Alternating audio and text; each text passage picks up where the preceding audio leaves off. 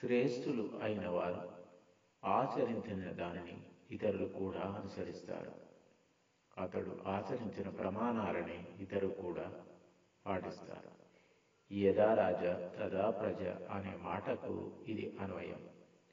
పెద్దవాళ్ళు ఏది ఆచరిస్తారో వారిని చూసి చిన్నవాళ్ళు అదే ఆచరిస్తారు. కాబట్టి చిన్నవాళ్ళను మంచి దారిలో పెట్టడ పెట్టడానికి పెద్దలు వారికి నిర్దేశించిన కర్మలను చేయక తప్పదు. మామూలు ప్రాపంచిక విషయములలో కానీ ఆధ్యాత్మిక విషయములలో కానీ పెద్దలు పిన్నెలు మార్గదర్శకంగా ఉండాలి. పెద్దలే తప్పు చేస్తే పిల్లలు ఆ మార్గాన్ని అనుసరిస్తారు. కాబట్టి పెద్దలు కర్మలు చేసేటప్పుడు చాలా జాగ్రత్తగా ఉండాలి. ఎందుకంటే చిన్నపిల్లలు ఎప్పుడు పెద్దలను రోల్ మోడల్గా ఊహించుకుంటారు. పెద్దలు శాస్త్ర విరుద్ధముగా ప్రవర్తించకూడదు. అర్జునుడి విషయానికి వద్దాం.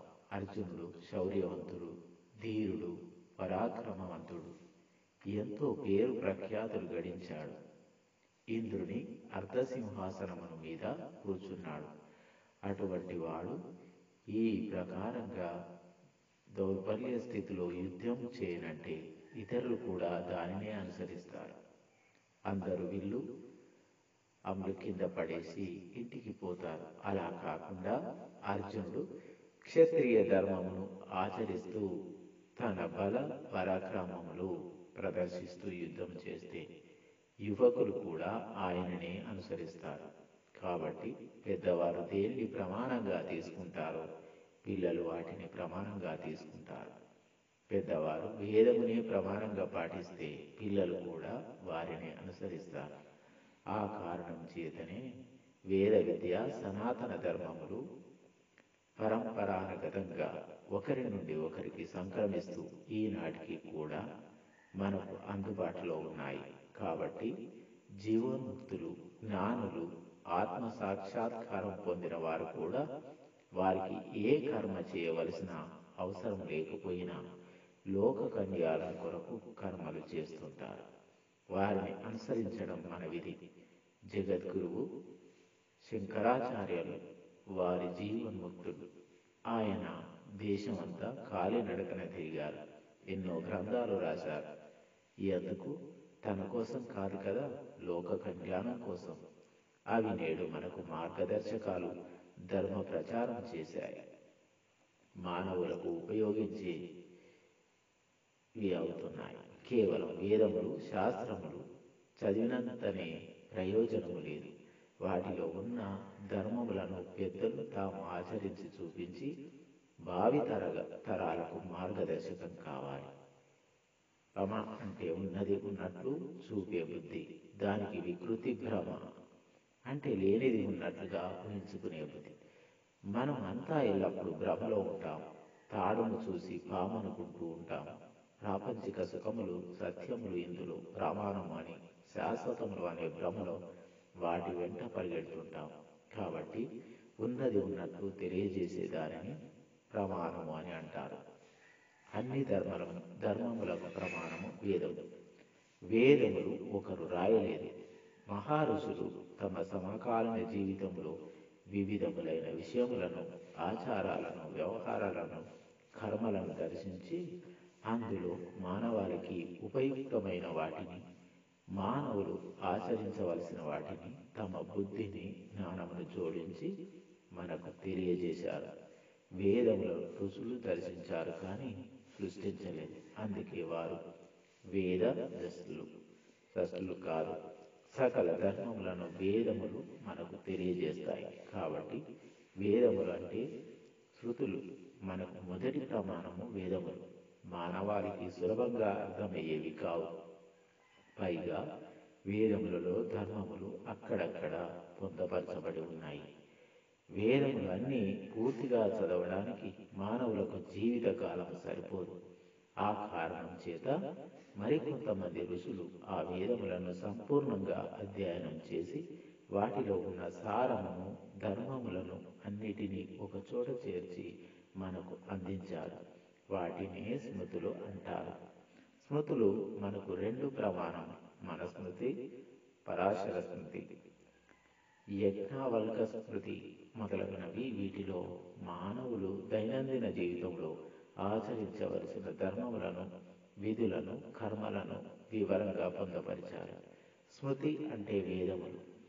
తండ్రి చెప్పినట్లు అంటే శాసించినట్లు చెబితే స్మృతి. తల్లి చెప్పినట్లు వివరంగా చిన్న చిన్న కథ రూపంలో లాలించి బుజ్జగించి అర్థం అయ్యేటట్లు చెబుతుంది. స్మృతులు కానీ స్మృతులు కానీ అందుబాటులో లేని వారికి అవి చదివినా అర్థం కాని వారికి మూడవ ప్రమాణం శిష్టాచారం. అంటే శ్రేష్ఠులు అయిన వారు ఏమేమి ఆచరిస్తారో వాటిని మనం ఆచరించాలి. జ్ఞానులు బుద్ధిమంతులు అయిన పెద్దలు ఏమి చేశారో వాటిని ప్రమాణంగా స్వీకరించాలి. మానవులకు ఎక్కడెక్కడ దేని గురించి ఆయన సందేహాలు వస్తే వారి ఇష్టం వచ్చినట్లు చేయకుండా జ్ఞానులు అయిన పురోహితులు చెప్పినట్లు చేయడం మంచిది. పాండవులు ఒక అర్ధరాత్రి పూట ఒక గంధర్వునితో తగా తగాదా పెట్టుకున్నారు. అప్పుడు ఆ గంధర్వుడు వారికి ఒక సలహా ఇచ్చాడు. అయ్యా మీరు అన్నీ తెలిసిన వారే కావచ్చు కానీ మీరు ఒక పురోహితుని మీ ముందు ఉంచుకోండి. ఆయన మీకు తగిన సహాయం సమయంలో ధర్మబోధ చేస్తాడు. పురోహితుడు లేకుండా మీరు ఎక్కడకు వెళ్ళవద్దు అని చెప్పాడు. అప్పటి నుండి వారు దౌమ్యుడిని తమ పురోహితునిగా పెట్టుకున్నారు. కాబట్టి మానవులు ధర్మం గురించి తెలుసుకోవాలంటే వారి పురోహితులను పెద్దలను జ్ఞానులను ఆశ్రయించాలి. వారి ఆచరణ వ్యవహారములను అనుసరించాలి. ఇది మూడవ ప్రమాణం. ఈ మూడు ప్రమాణాలలో ఆఖరిది అయిన శిష్ట శిష్టాచారమే సామాన్య మానవులకు చాలా ప్రముఖమైనది. ఆచరించదగ్గది. ఎందుకంటే స్మృతులు శృతులు కేవలం బోధిస్తాయి. కానీ శిష్టాచారం పెద్దలు ఏం చేస్తున్నారో? చూసే అవకాశం కల్పిస్తుంది. అదే చూసి నేర్చుకోవడం పెద్దవారు బుద్ధిమంతులు తాము ఆచరించి ఇతరులకు చూపిస్తారు. పెద్దలు చేసిన మంచి పనులు చూసి పిల్లలు నేర్చుకుంటారు. వారు అనుసరించిన ధర్మమునే అనుసరిస్తారు. శిష్టాచారం ఎవరి నుండి నేర్చుకోవాలి? అంటే మనకు నలుగురు గురువులు అంటే శ్రేష్ఠులు ఉన్నారు. వారిలో మొదటిది తల్లి. తల్లి తమకు మొదటి పాఠం చెప్తుంది. చేయాల్సినవి చేయకూడనివి నేర్పుతుంది. అది ఆమె బాధ్యత. రెండవ శిష్యుడు తండ్రి. తండ్రి తాను మంచి పనులను ఆచరించి తన పిల్లలకు కూడా ఆచరించేటట్లు చేయాలి. మూడవ శిష్యుడు గురువు. గురువు కేవలం పిల్లలకు పాఠాలు చెప్పడమే కాదు ఆ ధర్మాలను తాను ముందు ఆచరించి తనను చూసి పిల్లలు నేర్చుకునేటట్లు చేయాలి. తర్వాతి శిష్యుడు రాజు. రాజు ధర్మాత్ముడు అయితే ప్రజలు కూడా ధర్మం ఆచరిస్తారు. రాజు లంచుకుండి అయితే ప్రజలు అదే మార్గాన్ని అనుసరిస్తారు. అందుకే యథా రాజా తదా ప్రజ అనే సూక్తి వచ్చింది. ఎవరికైతే తల్లి తండ్రి గురువు రాజు ధర్మాచారంలో తమ పిల్లలు. తమ పిల్లలు అనుసరిస్తారు. శిష్యులు ప్రజలకు రోల్ మోడల్గా ఉంటారు. అతను తప్పకుండా ధర్మాత్ముడు అవుతాడు. ఆ రాజ్యం రామరాజ్యం అవుతుంది.